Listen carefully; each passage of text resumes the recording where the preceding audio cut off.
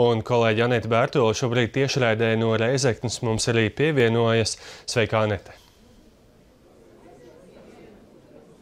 Jā, sveiks, Jānis. Labvakar, skatītāji. Protams, atrodamies šeit, Reizeknē, šo svētku, varētu teikt, epicentrā, kur tūlīt arī sāksies koncerts, kurā varēs dzirdēt arī oratoriju Mariju, par ko nu pat stāstījām. Klausītāji šeit jau ir pulcējušies, un starp viņiem arī eksprezidenta Vairvīķa Freberga. Labvakar! Labvakar! Ar kādām sajūtām jūs pavadat šo svētkus? Es domāju, šis ir uh, brīnišķīgs brīdis, un es to uzskatu kā sākumu mūsu Latvijas simtgades svinībām. Dažādos veidos piemērots, jo Latvijas kongress, kas notika nu, maijā, aprīlī, kā nu pēc kura kalendāra skatās, tieši absolūti simts gadus atpakaļ lika pamatus tam, kas vēlāk attīstījās un kļuva par neatkarības deklarāciju 18. gadā.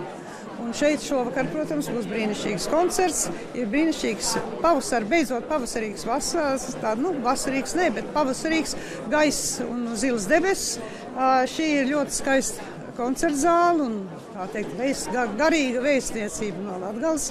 Un, jā, un Latgales solis šajā, šie lēmumi, ko pieņēma latgalieši, bija vēsturiski nepieciešami tam, lai Latvija kļūtu tāda, kāda viņa bija tajā brīdī, kad viņi deklarēja savu neatkarību.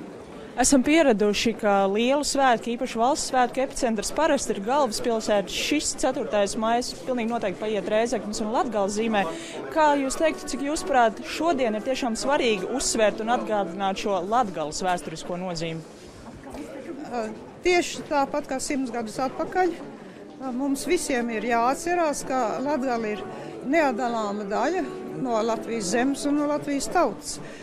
Dažādu apstākļu dēļ brīžiem katrs paliek mazliet iesaistīts pa daudz savā tuvākā nu, aizkrāsnē, sētā, pagastā pagalmā un aizmirst, ka mēs esam tomēr valsts kopumā un ka mums ir vienam par otru jārūpējās.